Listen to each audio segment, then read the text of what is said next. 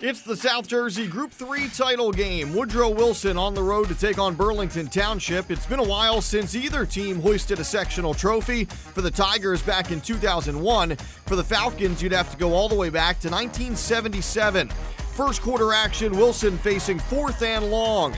Nick Kargman working out of the shotgun. He pumps and then fires downfield. Stanley King makes the catch for a touchdown.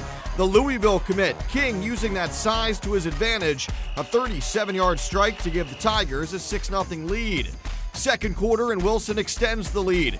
Kargman fires one over the middle to Nazik Murray, and he's in there. Kargman to Murray for a 17 yard touchdown, 14 0 Tigers. It's the Falcons' turn now. Danny Grozowski connects with Tyrese Ware for a Burlington Township touchdown. 14 yards on that hookup, and the Falcons are on the board. Fourth and goal for Wilson with just seconds to go before halftime. Kargman looking for King, but Andre NJ breaks up the pass. Still a seven point game at the break. But here come the Tigers again in the third. Kargman to Fadil Diggs for the touchdown. Nick Kargman's third TD pass of the day. Wilson starting to pull away up 22 to 7. Burlington Township not done yet. Five minutes to go in the fourth when Grozowski airs it out to Ware, a 44 yard bomb for the score. And the Falcons trim the deficit to eight. But that's the last time Burlington Township sees the football.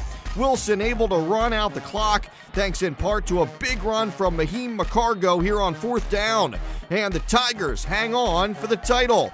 22 to 14 the final. Woodrow Wilson is a sectional champion for the first time since 2001. I mean, we worked hard all season, you know, from June, you know, we worked so hard, extra time. So we watched so much film, we prepared, you know, for this exact moment. So, you know, it feels great. We, you know, had a tough game today but we came out with it, you know, because we, we worked so hard. I remember this feeling when I was a high school student. In 2001, I was a member of that team that won the state championship. And the day I got this job, I told the team that we was gonna host this trophy at one point in time.